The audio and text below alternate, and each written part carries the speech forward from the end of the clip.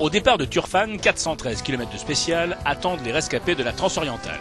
Au programme, le passage de la dépression de Turfan à moins 154 mètres et 25 km de franchissement de dunes, avant de rejoindre le bivouac de Hamish avec une température ambiante de plus de 40 degrés.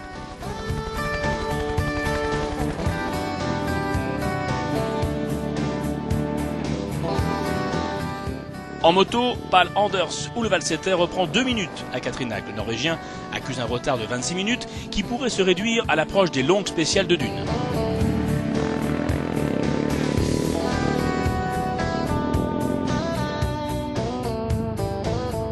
Une étape difficile pour les motards, témoignage de la seule féminine en course, Patricia Watson-Miller, 21e au général, sur les 46 pilotes classés. You can't drink enough. Après trois temps scratch, François Delecourt a connu une journée galère. Problème technique, passage de dune difficile, au final 1h30 de perdu sur Monterdé, ambiance à l'arrivée. C'est des soucis qui, qui sont d'ordre totalement euh, mécanique, hein, qui ne sont pas inhérents à nous-mêmes. À partir du moment où, quand on est parti ce matin, on avait quand même une journée de repos pour contrôler la voiture et on avait les vérins qui marchaient pas. Donc on a crevé très tôt. Le problème, c'est que le vérin ne marchant pas pour lever la voiture, on a perdu une demi-heure pour changer le pneu. Et ma première dune, j'ai perdu du temps. Et encore une fois, on n'avait pas le vérin pour nous sortir de là. Donc ça a été un petit peu à l'ancienne avec le, l'appel et machin. On a perdu un moment de temps. Gibbon reprend la deuxième place du classement général auto, mais à 1h40 de José Luis Monterdé.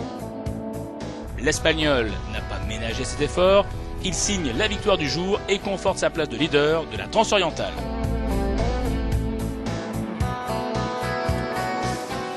Les deux hommes forts des camions ont connu une journée difficile. De Roy s'arrête dans la spéciale pour changer un élément de suspension, mais son rival Stassé n'a pas profité de l'occasion, connaissant lui aussi une grosse frayeur dans la spéciale.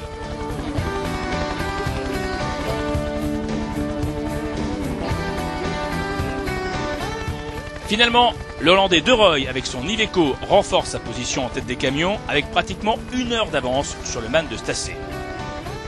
La victoire de l'étape revient au DAF de Bex. Mais la plus belle figure est à mettre à l'actif du G9 numéro 414. Heureusement, sans gravité pour les pilotes.